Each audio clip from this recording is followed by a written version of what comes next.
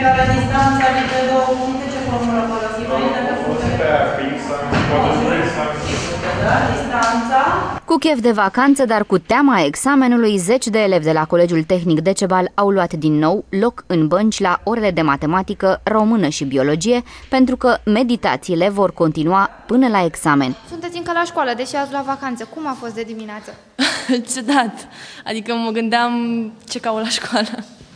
A fost așa un sentiment ciudat. Matematica va fi puntea sus spinelor, spun cei care cunosc experiențele colegilor din generațiile trecute. Mai au multe goluri de umplut până la examen, așa că acum recuperează teoremele și metodele de calcul din primii ani de liceu. Anul trecut în Mehedinți, procentul de promovare a examenului de bacalaureat în prima sesiune a fost de doar 33%.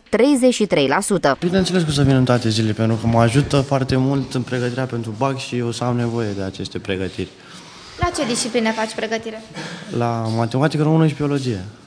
Ai emoții la vreo disciplină aparte? Nu, la, decât la matematică, puțin, dar nu în mare parte. Emoții normal o să am la matematică, unde este mult mai greu. Și mai departe aș vrea să dau la farmacie și sper să mă descurc bine la BAC și să-mi iese planurile cum vreau eu. În toate liceele s-au făcut grafice de pregătire care cuprind meditații la toate disciplinele de examen. Lucrăm exerciții recapitulative dintre a 9 până între a 12 -a. O să lucrăm în continuare. Vor fi exerciții recapitulative. Cam care credeți că este nivelul clasei?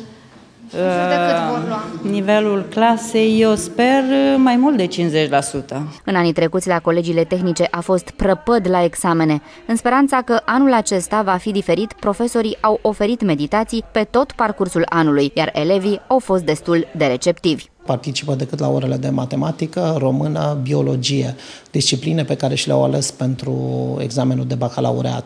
Sunt, așa cum uh, am observat, uh, sunt în general efectivele aproape complete, cu mici excepții. Elevii au venit să continue pregătirea care s-a derulat pe tot parcursul anului școlar.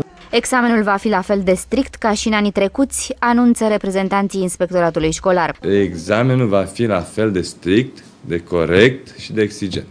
Elevii să nu se gândească și zvonul și tot ce se aude nu trebuie să fie luate în calcul. Pentru a spori măsurile de siguranță pe lângă cei doi profesori supraveghetori din sălile de examen, vor fi montate și două camere care vor funcționa pe tot parcursul probelor. Reprezentanții inspectoratului au anunțat că au achiziționat încă 100 de dispozitive de supraveghere.